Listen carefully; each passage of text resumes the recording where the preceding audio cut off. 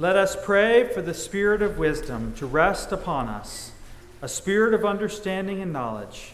Grant us to live in harmony and God's mercy to prevail.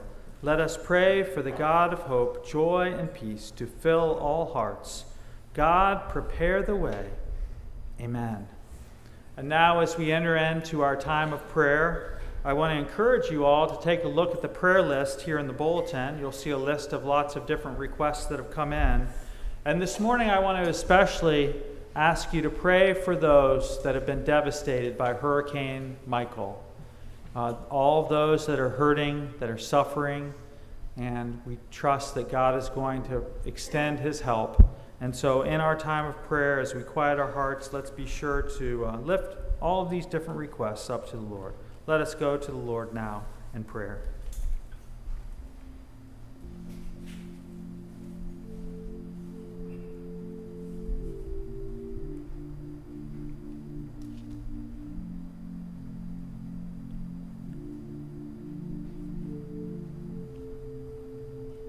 O oh Lord, we thank you for giving us this time together to seek you, to pray, to express our love for you. This morning, we want you to know, Lord, that we love you supremely, that we lift you up and put you, place you above everything else in our lives. You are first in our hearts and our lives. Help us, God, to love you with all, all of our heart, mind, soul, and strength today. Lord, we confess that we have all sinned, we have all fallen short of your glory. And this morning, as we come to you, help us to remember that you are the one who rescues and redeems. You are the one that forgives us of our sins. And we ask you, Lord, to send your forgiveness to us. Help us to receive your forgiveness in our lives today. We want to give you our thanks this morning for all of the ways that you have been at work in our lives, all of the ways that you've been ministering and demonstrating your goodness. This morning, we especially want to thank you for all of the ministries of our church and all of the different ways that you're displaying your great love and your power in our community and world. And Lord, this morning, we especially want to lift up all of those that have been devastated by Hurricane Michael. The, the utter sadness of losing family members, sadness of losing everything. And so many that have been impacted by the hurricane are feeling crushed this morning and need your help, O oh Lord. We ask you, God, to be with those families that are suffering today. We pray, God, that you would surround them with your love. We ask you, Lord, to be with the first responders, the police officers and firefighters and all of those that are serving behind the scenes. We just pray that you would give them strength today as they seek to help those in need. For those that are working in the local hospitals, we pray that you would provide your, your support, your encouragement, and strength again. And Lord, we ask you to, to uh, minister mightily to all of those who have been impacted by this terrible hurricane. We pray, God, that you would be there in the midst of the recovery efforts, the rebuilding efforts. We pray that you would help the local churches to provide assistance. And we, we pray, God, that you would provide resources, food and water and clothing and all sorts of resources to help those in need. And this morning, as we think about all of those that have been listed on our prayer list, Lord, we know that there are some that are in desperate places, going through physical difficulties, upcoming surgeries, rehabilitation programs. We ask you, Lord, to extend your help, and your strength to those in need. We pray for those families, the Frock family and Thresher family, and other families that have recently lost loved ones had loved ones uh, go to be with you and that are going, going through a time of sorrow and sadness today, we pray that you would extend your comfort and your help to them. We thank you, Lord, for knowing our needs even before we can speak the words. You know what our needs are. You're aware of what's happening in our lives. And so I ask you, Lord, to extend your touch to each and every person that's here in this place this morning. May each one of us draw close to you in this time. Help us, God, to be empowered to serve you in this time. Help us, God, to be encouraged in our faith in this time. Help us, Lord, to draw close to you and draw close to one another as we seek to be one for you. We thank you, Lord, for the great mission that you have given us of making disciples of Jesus Christ for the transformation of the world. And we ask you, Lord, to empower all that we do and help all that we do, help it all to be in alignment with the mission that you have given us.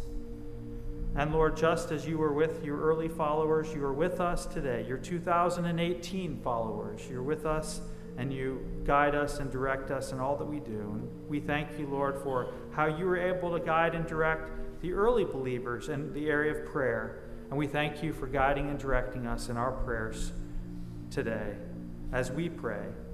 Our Father, who art in heaven, hallowed be thy name. Thy kingdom come, thy will be done, on earth as it is in heaven. Give us this day our daily bread and forgive us our trespasses, as we forgive those who trespass against us. And lead us not into temptation, but deliver us from evil. For thine is the kingdom, and the power, and the glory forever. Amen. I want to encourage you all to turn one page in the bulletin, and uh, you'll notice uh, that we are continuing our harvest series. Today is the second week of our harvest series, and uh, our theme is earn all you can, save all you can, give all you can, and dedicate all to the glory of God. And you'll notice uh, in the bulletin we have the uh, scripture verse that we're going to be looking at today. We also have a couple life application questions, and we have a prayer. And I want to encourage you to think of someone that might not be able to make it on a Sunday morning. Think of a neighbor or a friend or a coworker that's not able to be here. And I want to encourage you to reach out and share the message with, with someone that you might be connected with. And I believe the message is also being recorded, so you can even share the message through, uh, through the YouTube account that we have. And I trust that God will speak and He'll minister mightily to, to all who are able to hear the message, hear God's holy word. And so now I invite you to open your hearts and receive the message, receive God's holy word into your life as we take a look at Proverbs chapter 10, verse 4. Lazy hands make a man poor, but diligent hands bring wealth. Amen. Let us praise God today for his holy word. Let's pray. Oh Lord, we want to thank you and praise you for being with us in this time. We thank you, Lord, that as we open your word, you are able to speak to us. We thank you, God, that your word is eternal. Your word never fades away. And we ask you, Lord, to speak to us in this time. Help us know what it means to earn all we can for you. Help us, Lord, to be diligent in everything that we put our hands to. We ask you, Lord, to be exalted in our lives. Help us, Lord, to be faithful in our service to you. We pray in Jesus' name. Amen. How many of you can remember your very first job? I know it's been a little while, but I want you to to think about your very first job. And today is going to be kind of like an interactive sermon. So I'm going to share with you some of the jobs that I've had. I, have, I don't think I've had all of the jobs that I'm going to share with you this morning, but I've had a lot of these jobs. And when I share the job, I want you to either raise a hand or if you really are feeling exuberant, you can stand up if you've had that job before. And I was able to poll some of our trustees and some of our church leaders, and I believe that some of these jobs that I'm going to share with you are some of their first jobs that they had. First job uh, one of our trustees had was delivering newspapers. Have you ever had that as a job? Okay, you got to be pretty dedicated to deliver newspapers, don't you? You got to get up early, get all those newspapers ready, and you've got to get out there on your route usually before it even is light outside, right? That's a tough job. How about babysitting? Have you ever been a babysitter before? Okay, have you ever had to change diapers before? so it's not always the, the most enjoyable job, is it, being a babysitter, but it's an important job. And then how about washing dishes? That's, uh, that was one of my very first jobs as a kid. I remember I made $3.75 an hour, and I used to wash dishes and dishes and dishes at the Muirfield Village Golf Club in Dublin, Ohio. And I wasn't really worried about the 375 an hour. I was excited about unlimited food. And when, they, when I was hired as probably a 13 year old kid, I was so excited when they said, You can have as much food as you would like. And I was thinking, I would probably do this for free if, if, it's, if it's all food, right? But I remember uh, washing those dishes and how hot and sweaty I would get behind the dishwasher. And it's unbelievable. The dishes just keep coming. They just keep coming in there and they are piling up. And you've got to really get after it to get all those dishes done. How about the next one? Mowing lawns. Have you ever done yard work as, a, as an early job? Now, I don't know about you, but after doing an hour or two of yard work, I, I often wonder how can someone do this for 10 or 12 hours a day, five or six hour, five or six days a week?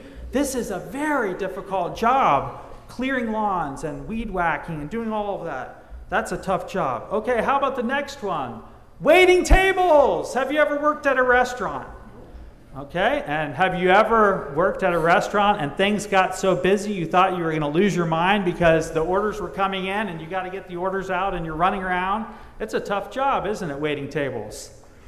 And then the next one, as a kid, I used to be, I served as a caddy, but I didn't just carry one bag, I actually carried two and I think I was only maybe 120 pounds, and I remember carrying those golf bags, and that was tough. That was hard work, but they had the halfway house where lunch was on the way, so if you can get through the first nine holes, lunch is there, and you're ready to go, and then you can get through the last nine holes carrying those bags. But that's actually, that's a tough job. The next one, how about delivering pizza? Have you ever done that before?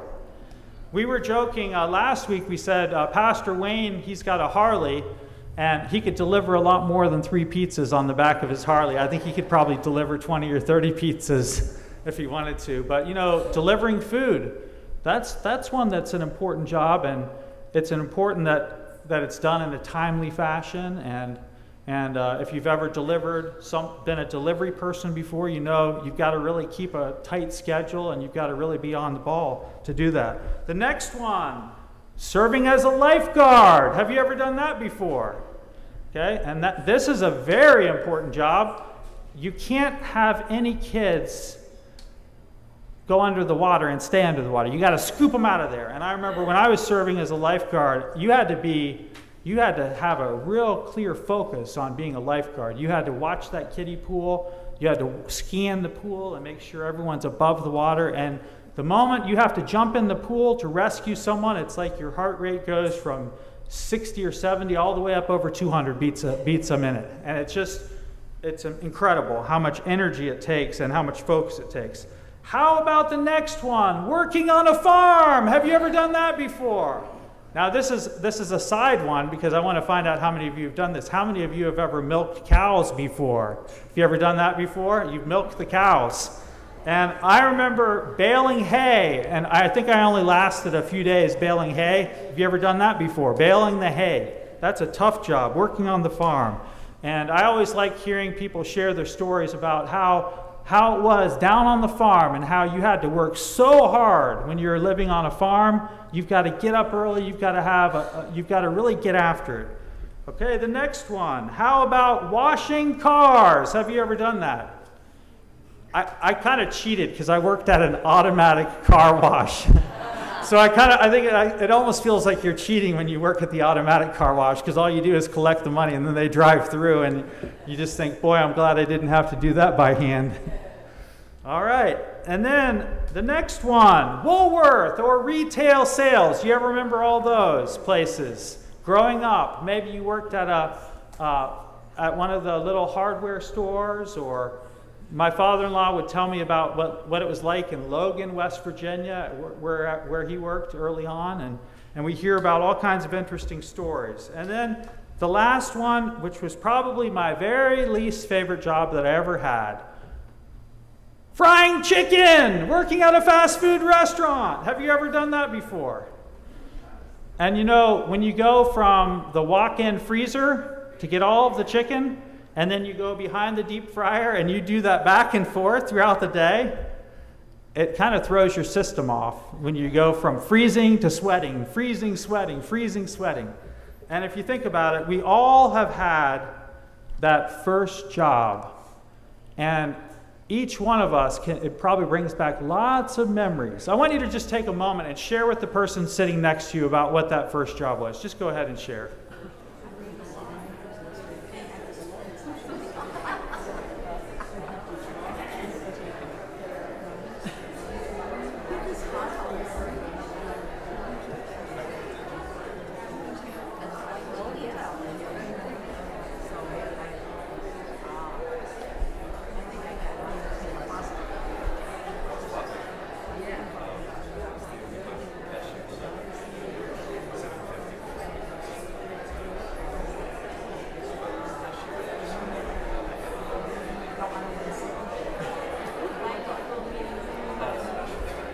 Sure does bring back a lot of memories. And after the service, you'll have a little more time to share some of your stories about that first job. As we take a look at this scripture verse, only a few words in Proverbs 10:4. It's not a real long verse. Lazy hands make a man poor, but diligent hands bring wealth. As we take a look at this scripture verse, we see that if we are lazy over time, over a period of time, we will also be poor over a period of time. When we look at this, as we try to understand what this verse means, when we look at the meaning of the word lazy, what it means is to be to be pretending to work. Have you ever done that before? You're your mom's watching and you're supposed to be sweeping, and all you're doing is kind of moving the dirt from this pile to that pile and then kind of back and forth. Or have you ever pretended to work where you were told to clean up your room and you just took everything and shoved it underneath the bed, or you just crammed it into the closet and you said, I'm done, I finished, my room's all clean? That's pretending to work. A lazy hand is a slack hand. Have you ever gone to shake someone's hand and it was like you were shaking a dead fish? There was just nothing there. It was just kind of a limp. There was just nothing in the grip.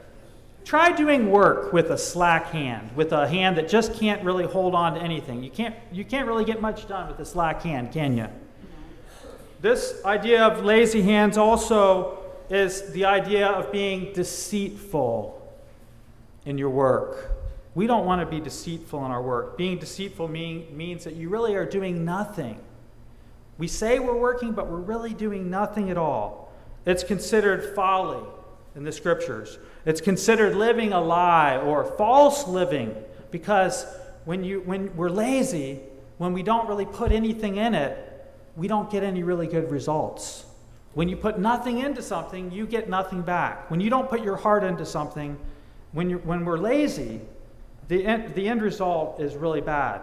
Lazy hands, what that means is a total failure of purpose when we do things in a lazy manner. We're not really living up to the special purpose that we have in our lives. It's being remiss. Having lazy hands means that we can't help other people. We're focused on ourselves and our own comfort level, so we don't want to be extended too far. We have our lazy hands. We're not going to extend a hand to help someone else because our hands are just too lazy. We can be lazy by not using our abilities. Have you ever seen that happen? Maybe it's happened in your life, or maybe you know someone that has tremendous abilities, but they just don't really want to use those abilities, and those abilities just kind of decay. They don't really grow and prosper. That's lazy hands. Lazy hands are all about making a show, tricking people by faking it.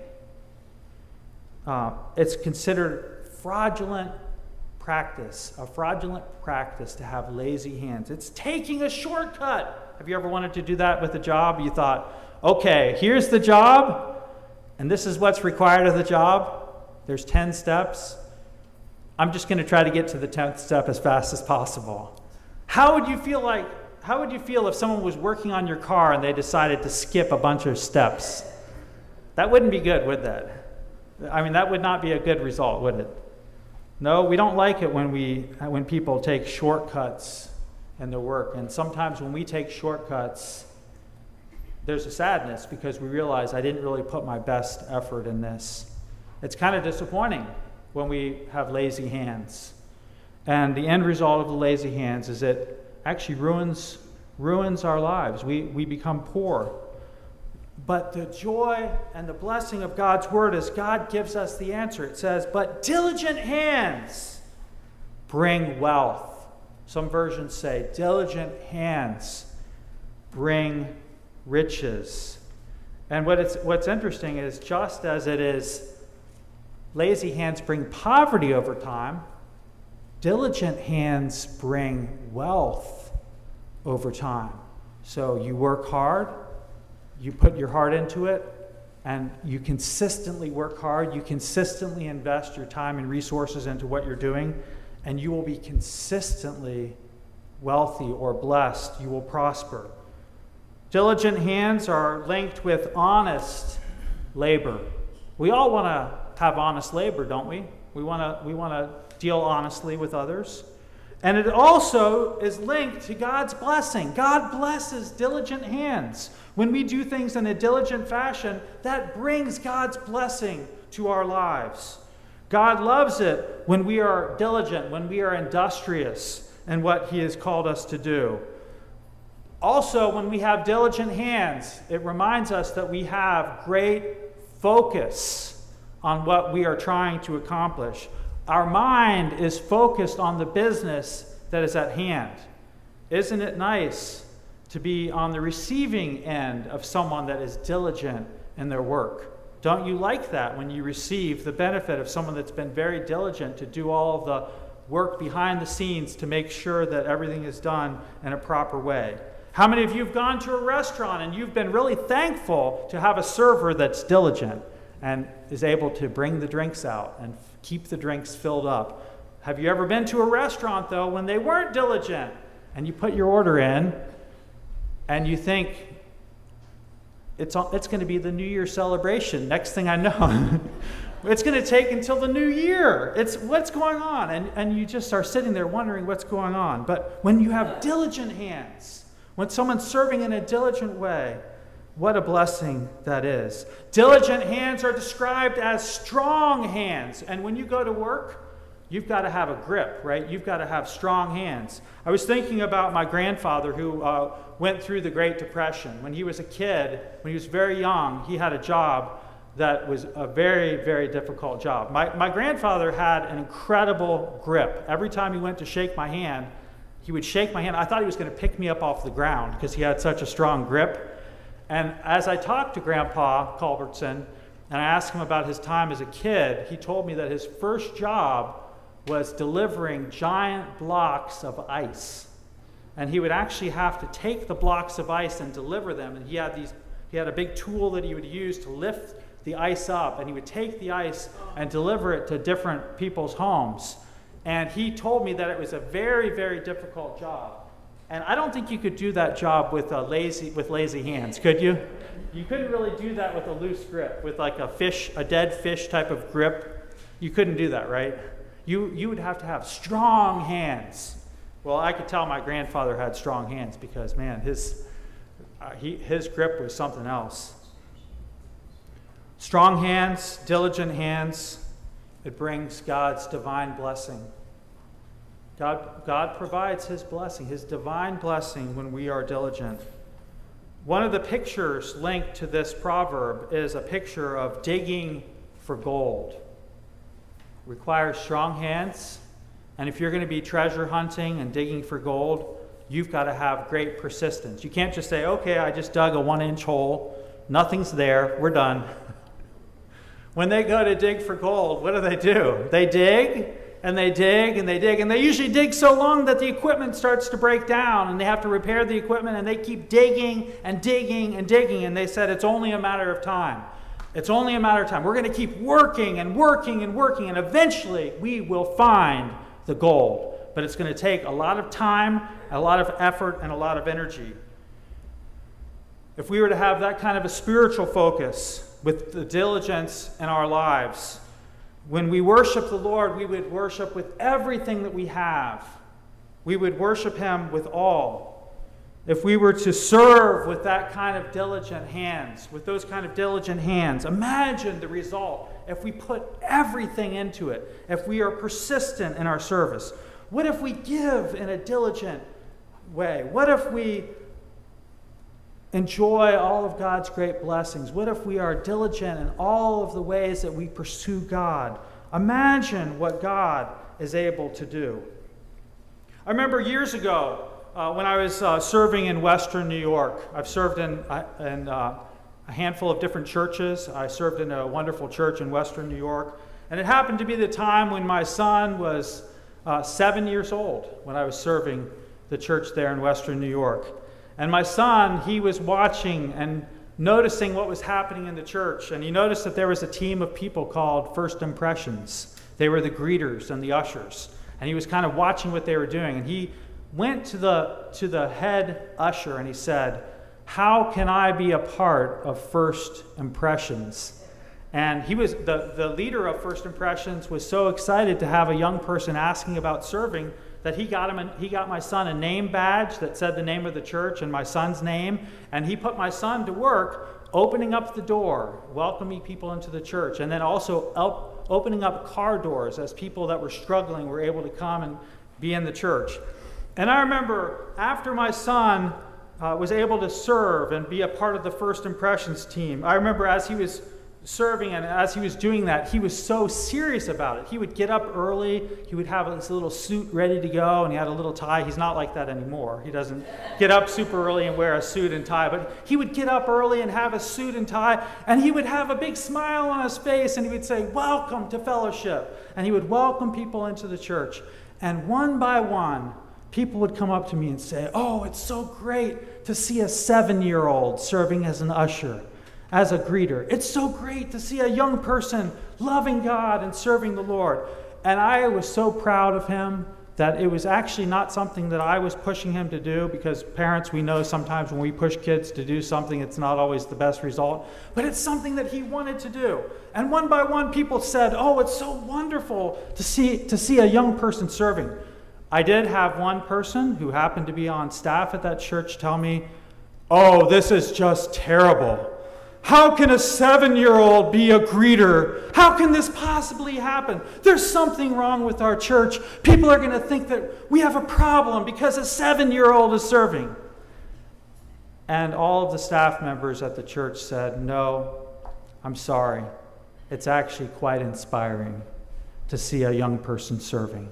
Sometimes in life we say, I'm too young to serve. I haven't reached the age of serving yet. But you know what?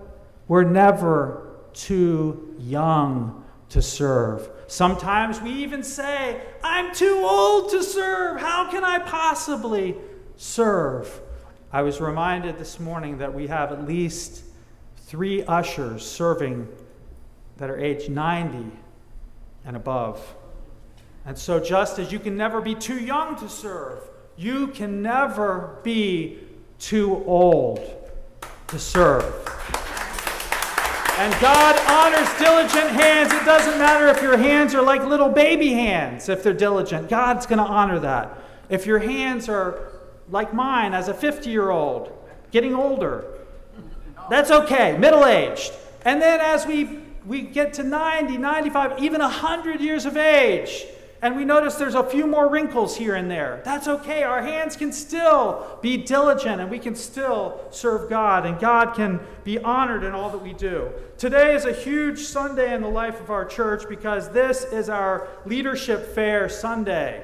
And as we've been talking about that first job and talking about having diligent hands for the glory of God, we have some amazing opportunities. We have a few tables set up in our fellowship hall, and we have a listing of the different ministry areas where we're seeking people to come forward and consider serving. We're looking for people to help out at Blessings and Bargains our resale store. And Kay Billington is here. She's the manager of Blessings and Bargains. And if you would like to volunteer at Blessings and Bargains, she would love to have you assist. Our office manager, Brenda Wood, is our children's ministry director, and she's looking for people to help out in children's ministry. Many of you have helped out with Vacation Bible School.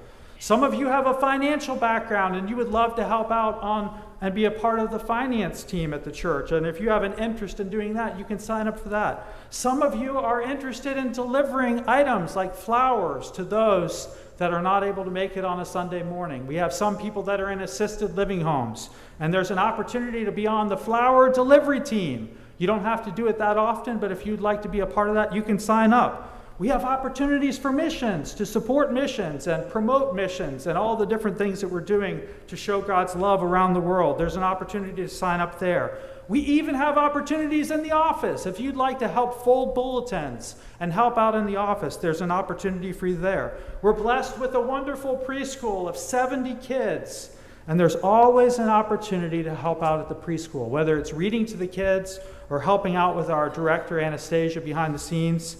Uh, we'd love for you to consider that.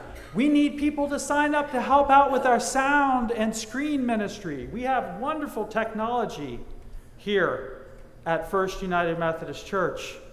But it actually takes lots of volunteers to put all of this together and to be able to, to help out behind the scenes. So maybe you would consider doing that. Maybe you have a background in human resources and you would love to be a, you would love to be a part of our staff parish team, which is really primarily human resources. You can check that out. Maybe you have an interest in maintenance and fixing things and helping behind the scenes. You can talk to our trustees, and I'm sure that they have, would have opportunities for you to step forward and help out in that area.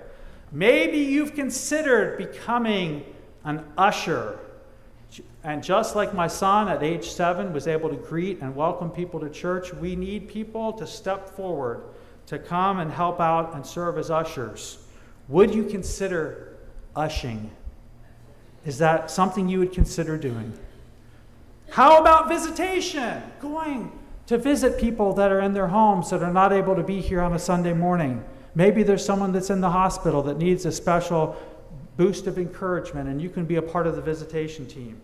Also, youth ministry and young adult ministry. Maybe you have a heart for the youth and the young adults you can sign up and be a part of that and assist Pastor Parker and Pastor Wayne and others that are helping there. And we're blessed with an incredible music worship ministry here. We have our choir and we have our handbells, but we're always looking for more people to help out with our fine arts series and all the special things that we do. You can see Tom Bates if you have an interest in that. I believe that God is calling each one of us to have diligent strong hands of service. I believe that God wants us to take a step of faith. And just as many of the projects in our lives, the remodeling projects, the homework, all the things that we do, many of these things take time and it takes a lot of energy. Serving in the church also takes time and energy. It requires diligent hands. But I believe that as we will surrender our hands and lives to God, God will stir us up and use us to help further his glorious kingdom. So often in the church, 20% of the people do 80% of the work of the ministry behind the scenes. And so many times in life, people like to watch and kind of take it all in. I want to encourage you to take a step of faith today and consider finding that one special niche, that one special area of ministry where you could be involved and you can help out. You're not too young to serve, and you're definitely not too old to serve. God can use your life today in a very special way. I believe that God is going to bless your life as you serve Him, as you diligently honor Him, And just as you were faithful in your first job and you've been faithful in all the different jobs from your first job until now, you can be faithful in your service here and our wonderful church. Let's stand now and pray. Oh Lord, we want to thank you for reminding us today that if we are diligent, you are truly honored. Help us, Lord, to all be diligent, to fully surrender to you, to put our hearts into what we're doing. Help us, Lord, to find your purpose in our lives. And just as my son had great joy being a greeter, opening up doors, being there as a little seven year old, welcoming people to church, we can have incredible joy. No matter what our age is, we can have great joy in serving you. You call us, Lord, to be diligent, and when we're diligent, it brings many blessings in our lives. Help us, God, to be diligent today. We ask you, God, to bless our leadership fair, and we pray that you would stir our hearts. Help us, God, to respond to your goodness and your grace. We pray in Jesus' name. Amen. And now let's sing hymn number 130 God will take care of you.